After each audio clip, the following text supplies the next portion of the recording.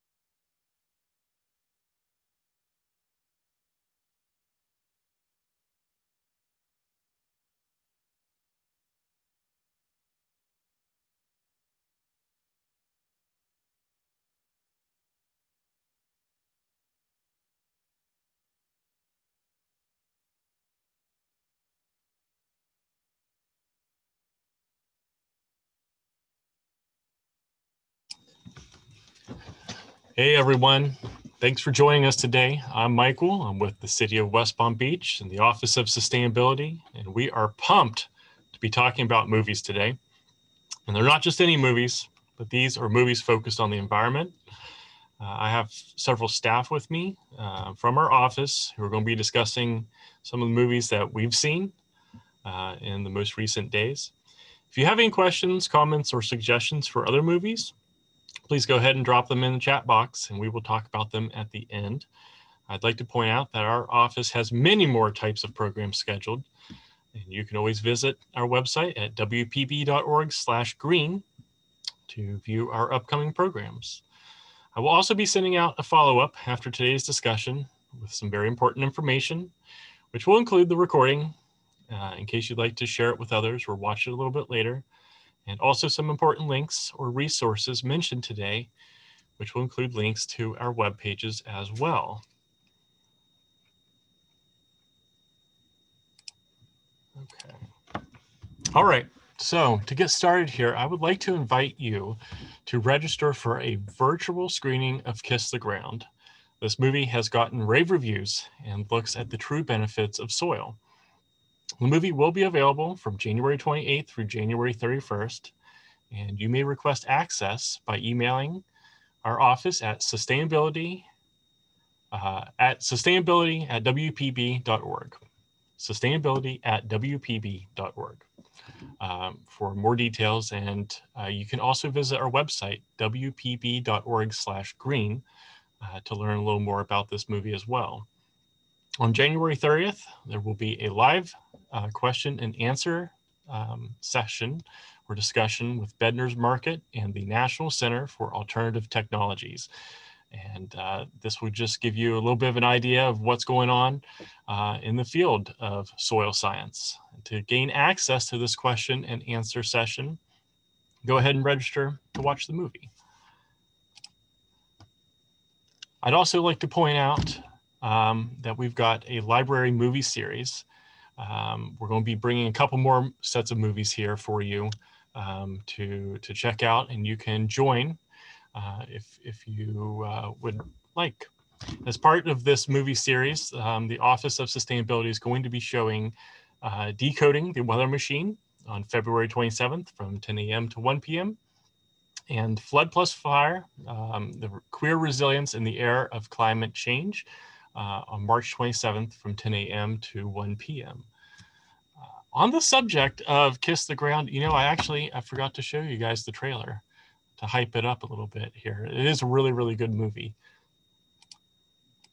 So uh, let's let's check this out. There's so much bad news about our planet. It's so overwhelming.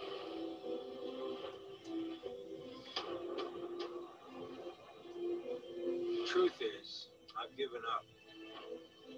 This is the story of a simple solution, a way to heal our planet. The solution's right under our feet, and it's as old as dirt.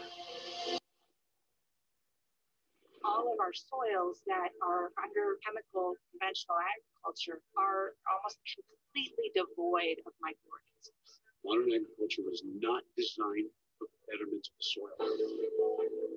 Fossil fuels are by no means the only thing that is causing climate change. When we damage soils, carbon goes back to the atmosphere. But when we destroy soil, it releases carbon dioxide.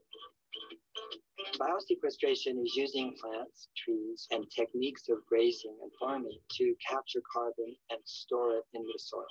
We can fix a lot of our climate issues to be bring the CO2 down into a living plant and put it back into the soil where it belongs. Plants working with soil microorganisms, it seems too simple. Healthy soils lead to a healthy plant, healthy plant, healthy human, healthy climate. There could be a way to eat food that heals the planet. The problem isn't the animal. The problem is where the animals are at. How do we take waste and repurpose and reuse it because it's really not waste? The poop has to stay in the loop. Compost is just one of a suite of soil-based carbon capture solutions. We know how to do it. And if we continue to scale over 30 years, we can reverse global. We can get Earth back to the Garden of Eden that it once was by regeneration. To see biodiversity return to a place that was completely devastated, That gives me hope. Our health and the health of our planet are connected. If you look over here, my neighbor's land that has been chemical fallow, then you look over at our paddock, you have a diversity of different plant species. Which model do you want your food to be produced from? The answer is pretty simple to me. I'll make you deal. I won't give up, and neither should you.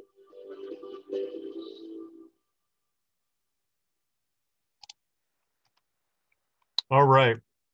So that's a pretty exciting looking movie. Uh, I'm definitely going to have to join in and, uh, watch this and, and have the discussion as well. Uh, soil science is key to keeping the world green.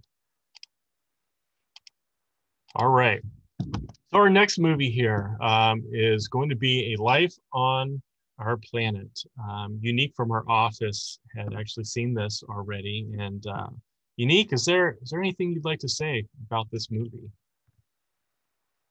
Yes, um, it stars David Attenborough, um, and it's actually you could actually watch it on Netflix.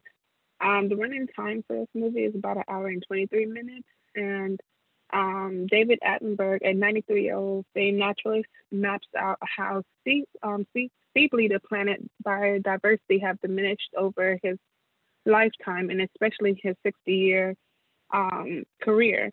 Um, he called this documentary his witness statement um, for the environmental changes that have occurred throughout the years. Um, this documentary is rather thought provoking as he witnessed the beginning of global air travel, um, its impact on the planet, deforestation, and degeneration of the planet as human life and technology um, advance. Um, he also pleads um, plead to restore the ecological balance.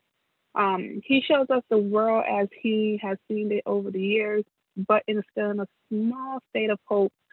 Um, with us um, close to the end of the movie, as he details some some steps that he could take, um, that we could take as small successors um, that can help reverse the um, the damages that have already been done.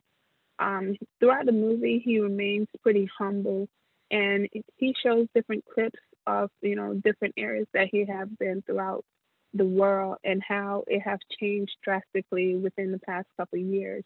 Um, and that's pretty much you know just my overview of it. It's very thought provoking because in less than hundred years, um, this planet have changed so much um, just by you know the human impact and everything that we have going on now.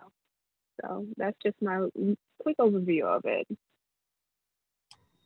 Awesome. Thank you, Unique. Uh, yeah, David Attenborough is uh, a leading expert. Uh, if, if you guys are familiar with any of his films, definitely, definitely cool to watch anything that's associated with him. He's, um, you know, similar to Jeff Corwin here in the United States. So uh, if anybody's been familiar with with that type of stuff. So anyway, let's uh, let's take a look at the trailer for this movie. It uh, it does look really really interesting.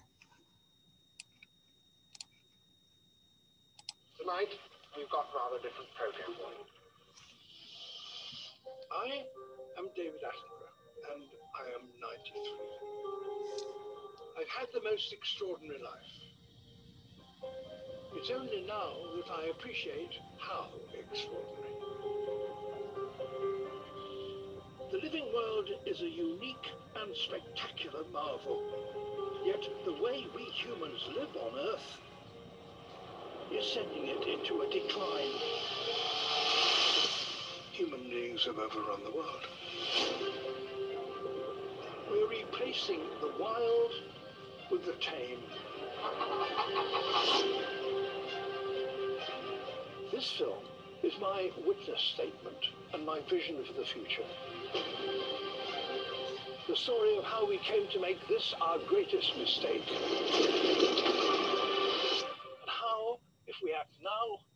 Can yet put it right.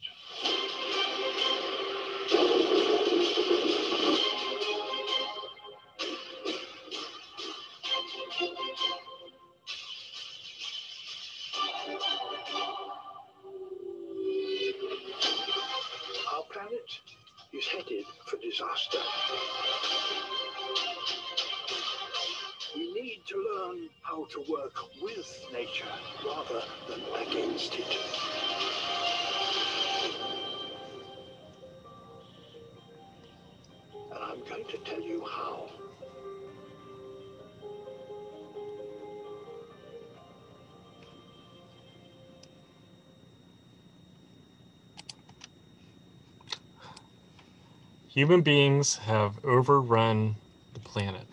That is uh, quite thought provoking, isn't it? Think about that. Uh, we are overrunning the planet. Like we we are the invasive species. interesting, interesting. Okay, uh, well, on that topic, um, you know, we've got the movie Anthropocene, um, human epic overrunning the planet.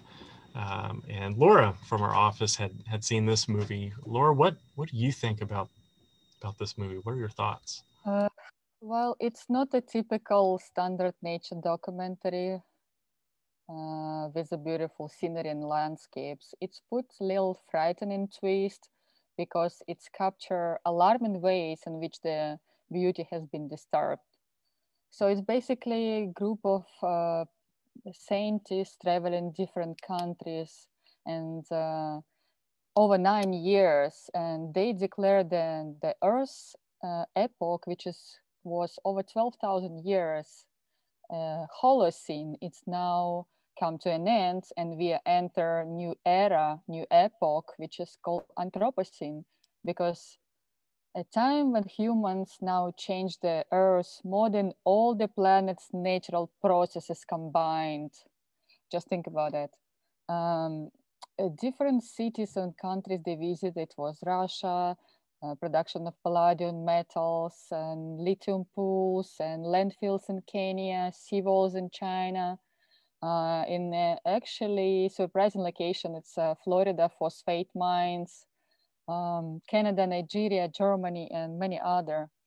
It shows uh, st disturbing statistics on impact of deforestation on air quality and montage of the species which is nearly or functionally extinct and only you can see them only in the zoo uh, and it's yeah it, it's really it's kind of make me really sad from one point and from that it's make me want to do more than i'm already i'm already doing. And the only um, uplifting message it was given in the end um, because this is not a typical documentary. It's not a lot of commentary over there. Uh, only uh, images sometimes speaks and the scenery speaks with, without the words by themselves so the, the last message it was the closing statement uh, realization of our dominance is the beginning of change so that's that's my takeaway Awesome. Thank you very much, Laura. Um, we're to go ahead and check out the trailer for this as well. It, it does look like a really exciting movie.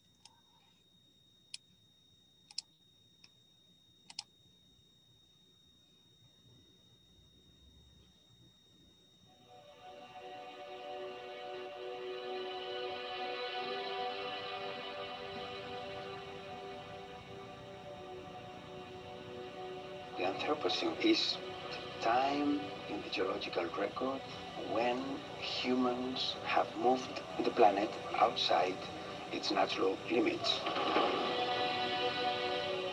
Humans go from being participants in the whole Earth to being a dominant feature. Dominating the oceans, the landscape, agriculture, animals. It could be a full-scale catastrophic change.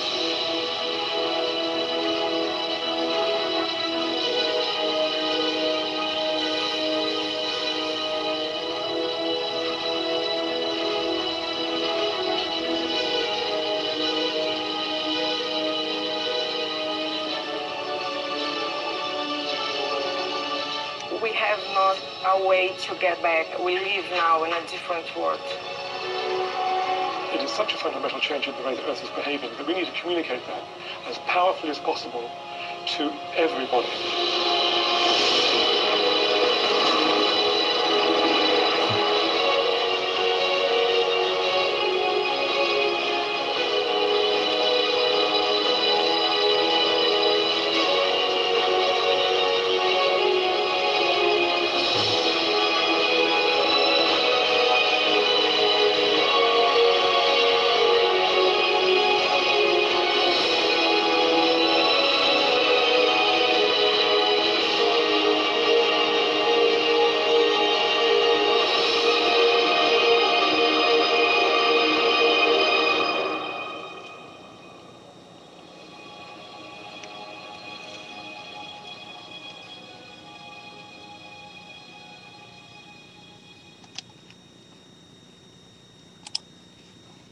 Wow, that's really yeah, intense. It's, it's intense. that's that that is crazy.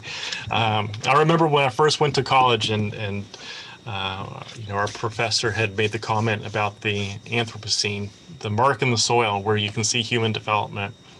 And it was being uh, chrono- chronologically documented in the geology of Earth, of where humans uh, came about. So we are definitely leaving our mark uh, on this planet, whether we like it or not. Um, our second movie here, The Story of Plastic. Um, Laura, what, what do you have to say about this? Is there anything you'd like to share? Uh, I watched this. I watched this movie a couple of months ago, and uh, it is great documentary. It just shows uh, man-made crisis of plastic pollution and impact uh, on the health and the planet. But it's it's different from any other documentary because it doesn't shows like landfill of plastic or ocean or rivers polluted with plastic, ocean patches size of Texas. It's it has a different approach than everyone else it shows uh, it shows global journey like uh, through the supply chain. So when it begins from frac, uh, fracking natural gas in United States, and then it's end up with mountains of plastic somewhere else on another side of the world. So basically, it's tracking timeline uh, of petrochemical industry, how it's all started, how great it was, how it was marketed before, and it was such a great idea. It was like panacea from everything. But then slowly and surely it's uh, plastic is good but not the single use plastic. If you use it only once and you throw it away that's not a good uh, for our planet or for ourselves. Uh, and and like the key narrative of that is that um, behind the petrochemical companies, so behind the plastic is the same companies that behind the oil and gas. It's exactly the same companies, Exxon, Shell, uh, DuPont. So um, what I liked about this movie is that anyone who already knows problem about plastic can watch that and the people also then just started to understand how big is the issue it's for everyone. And because it explains the beginning and then supply chain and and the disposal basically from production the whole the supply chain. And also um, uh, it, it's great tool to understand the full life like life cycle of the material and also how industry industry have a critical role in it. And by making industry responsible from produ by producing the product um, that's uh, actually one of the keys uh, I really enjoyed it. It's uh, eyes opening how consumers, uh, industries can come together and tackle this problem. I think we can do it very, I'm ending on a positive note. certainly we can we can overcome our difficulties. We created them. I think that we can probably find a way to uh, resolve some of the issues that we ourselves have created. And yes, um, large companies and organizations um, have also been contributors, uh, but we can all work together to overcome our environmental crisis. Okay, uh, the next set of movies we have here um, are The Devil We Know and Dark Waters. And these were actually movies that I had watched. Um, I will say these these movies were personal to me. I'm from West Virginia, and this both these movies were filmed uh, in West Virginia. Uh, the Devil We Know is a documentary, and Dark Waters is more of the theatrical version. But um, this really deals with, um, I would say, environmental accountability and the release of chemicals into the environment, and um, you know, I would, I would say, uh, I guess the main point that I got from it was if you know you're doing something wrong, don't sweep it under the carpet. Um, you need to go ahead and let people know that there's something up because it will create more issues down the road. I will say that I, I was really surprised at how long um, these these issues had gone on with the chemical C8 for many many years, and that it took until um, year 2000 for anybody really to report any issues that were going on. At the time, it was just a just a silly farmer whose cattle was dying. He wanted to know why why all of a sudden his cows were dying. Um, but he really unlocked a, a, tale of something that was more severe um, that was going on, um, hiding something much much greater. And so, um, you know, I think these were, were very interesting movies, both of them. Uh, again, The Devil We Know is the documentary, and Dark Waters is the theatrical version. So, if you get a chance, I, I recommend check, checking them out. Uh, I'm going to go ahead and play the trailer for The Devil We Know. Um, I will say that it is scary.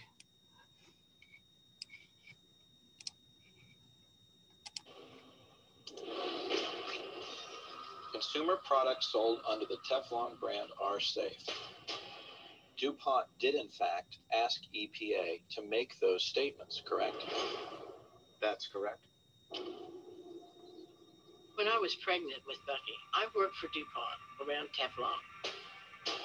They tried to blame me. They said it was something that I did. The more they would tell me that, the more suspicious I got. You did see there was a substantial risk to the women at the DuPont plant.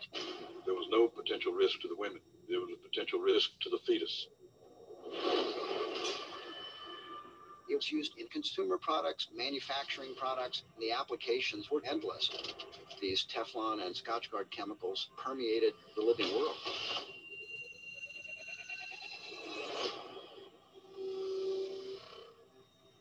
Today, every baby is born with Teflon chemicals in their blood.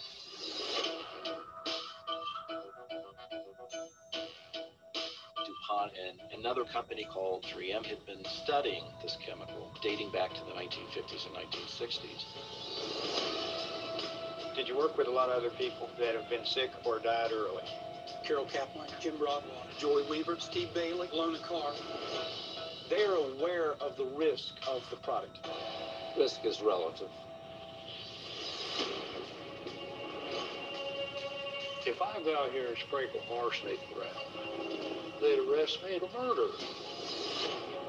We've lied, and they're still lying. Everybody in this area, in one way or another, is connected to DuPont. You go dealing with somebody's livelihood, you're going to have problems. There was a discussion about do we need to come up with something in our production that's not going to cause these problems? They conclude if we launch something new, it's going to cost us a lot of money. We have to stick with the devil we know. Was I guinea pig? What do you think?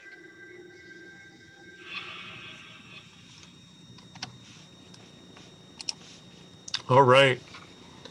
Environmental accountability, that's what I was talking about. Uh, if we know we're doing something wrong, we should probably fix it. It's only going to create a larger issue here uh, in the future. And that is what, um, you know, this activist, uh, Greta Thunberg, has really been, um, you know, trying to bring about lately.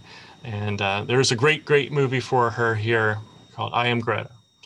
And uh, Elaine had done the review for this, and unfortunately, she's not here with us today. But I can read um, kind of some uh, some feedback that she had had given us.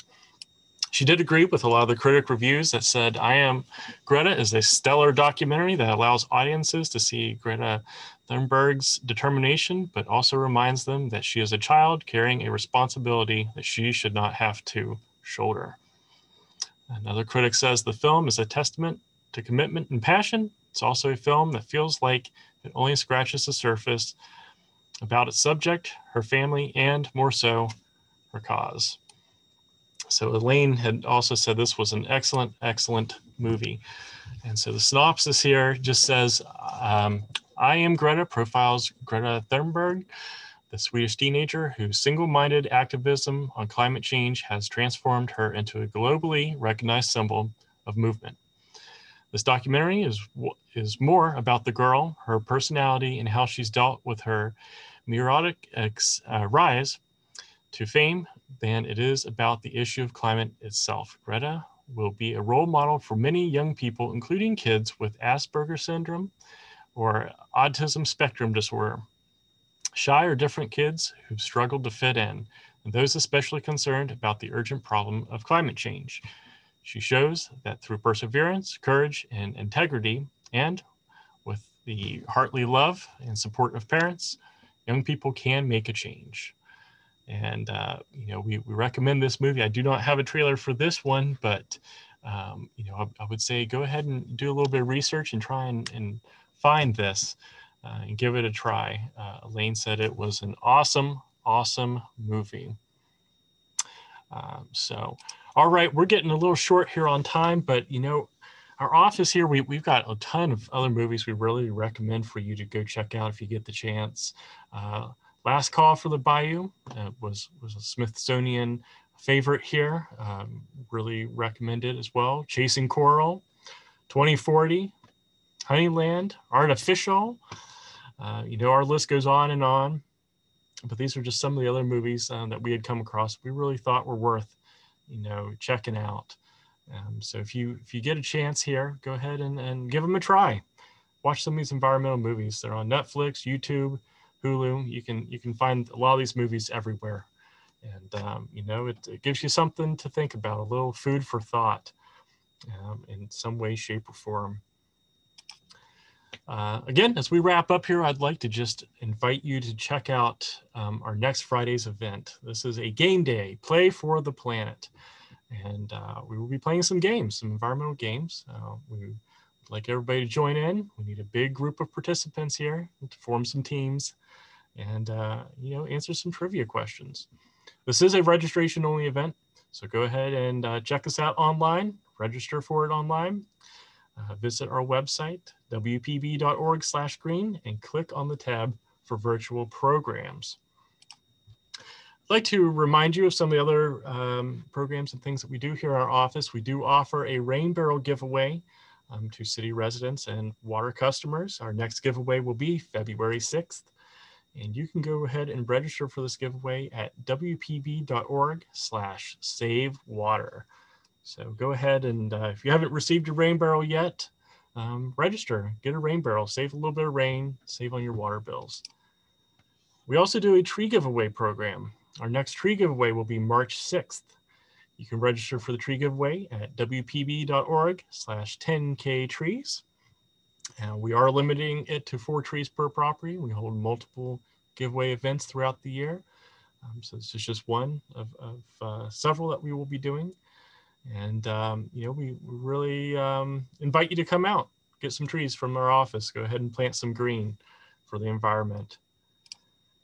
And uh, again, um, if you don't follow us online, um, check us out on Facebook and Instagram at W at WPB Green. Uh, again, Facebook, Instagram, um, Twitter, possibly. And uh, go ahead and check out our website, wpb.org slash green. Uh, check us out. We have a lot of programs. We do a lot of different things. And, um, you know, we, we really want to be out in the community and we need your help. So um, everybody, have a great, great weekend. We'll see you next time. Take care.